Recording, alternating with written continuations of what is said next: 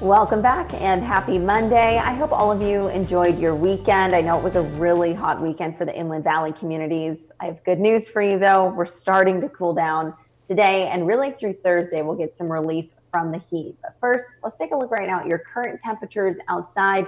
If you're getting ready right now, getting ready to head out the door, we're ranging from about the mid to upper 50s, pretty consistent throughout actually. Satellite radar is showing some of the cloud cover for you, reaching parts of our beaches, our coastal valleys, and your microclimate model shows what we expect by this afternoon. So you can see it starts to mix out. We're left with mostly sunny skies, especially for your coastal valleys. And we're seeing that for some of our coastal locations as well. Microclimate model does show here that it will start to increase though as we head into later this evening and it'll stick around through the overnight hours. So we'll continue to have this trend of the overnight fog and then clearing by late morning into the early afternoon. You can expect that really through the end of the week.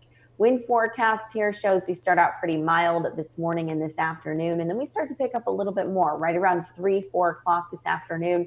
Sustaining winds will shift out of the northwest, ranging from about 10 to 15 miles per hour and they're not too bad, but it's the wind gusts that will start to increase heading into, again, this afternoon through this evening.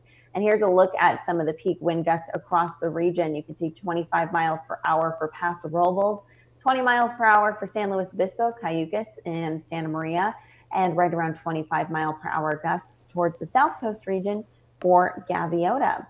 And high pressure is gradually weakening today through Wednesday. This means that we're going to cool down in terms of those daytime highs. So instead of being in the triple digits for the inland valleys, we'll be closer to the 90s for the interiors. And here's a look at those daytime highs. So we have 92 degrees for Paso Robles. I know it's still on the warmer side, but it's cooler compared to what we had over the weekend, even yesterday. And we'll continue to trend down from here.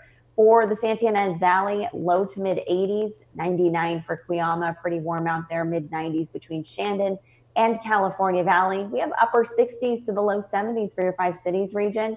We're sticking with the low to mid 60s for the North Coast, 88 for Atascadero, 95 today for San Miguel. Back to you. All right. Thanks, Brooke.